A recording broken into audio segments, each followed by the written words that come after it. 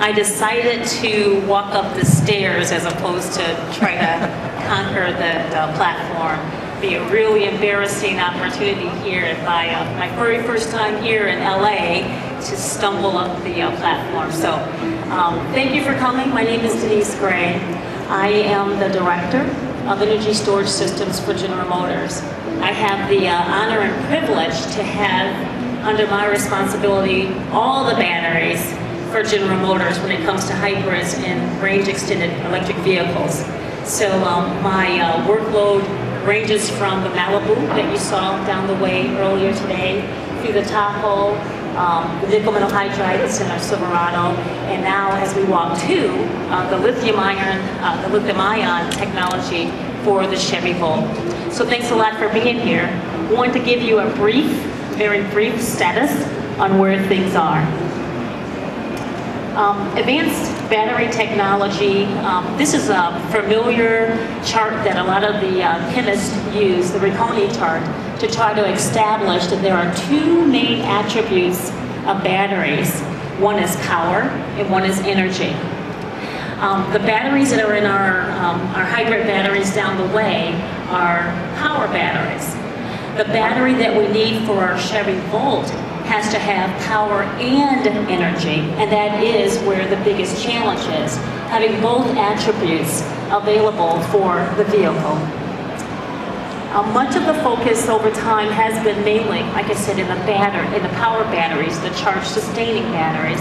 But as we move forward to lithium ion, lithium ion batteries and range, uh, extended range electric vehicles, we need both of those, and that truly is the biggest challenge. Um, there will be challenges to, uh, to get over as far as the cells to meet the overall requirements that we have from a life, from a durability, uh, making sure that the battery and the vehicle can live in the hottest places in Phoenix, as well as the coldest places in uh, Kapuskasing. We've got to make sure that we can engineer the design to meet all of those requirements. And of course, of course, cost for initial designs for break, uh, um, groundbreaking technology always costs a little bit more in the beginning than it will over time. And so we've got to make sure we deal with those issues as well. Okay, I think we gave you a preview of where we were with our, um, our contracts.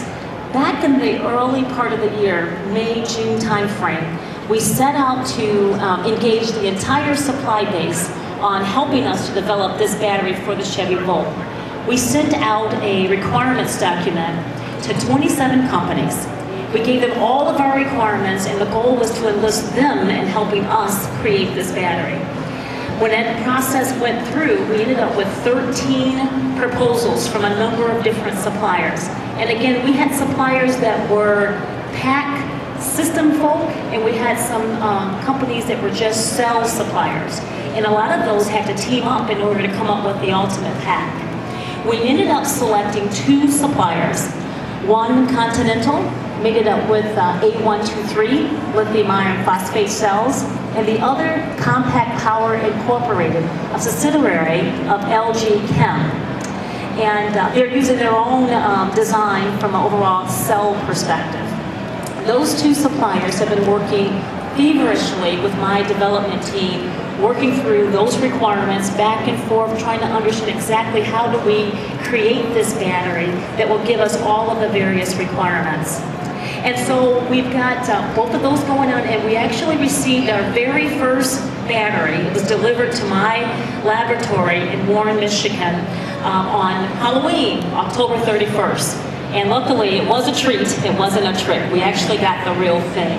And so uh, it was brought into our laboratory everybody was ecstatic because there was months and months of work going, um, had to happen in order to bring that to fruition. But yet there's months and months of work yet to uh, continue to work through that process. Um, a little while ago, Bob Lutz quoted, breakthrough battery technology will drive future automotive propulsion, and the company that aligns the best strategic partners will win.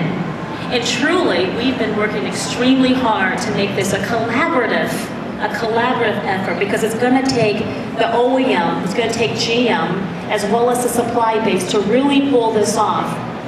The technology is capable. There's all kind of data that says that lithium, lithium ion can provide us what we need, but there's a lot of work we need to do to make sure that we can meld that theoretical activity into practical activity and be able to build these batteries with the quality that we must have in order to build this Chevy Volt.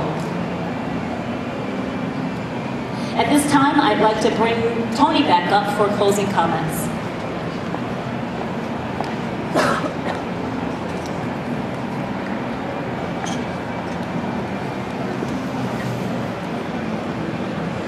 Part of the journey that we've gone through is a learning process.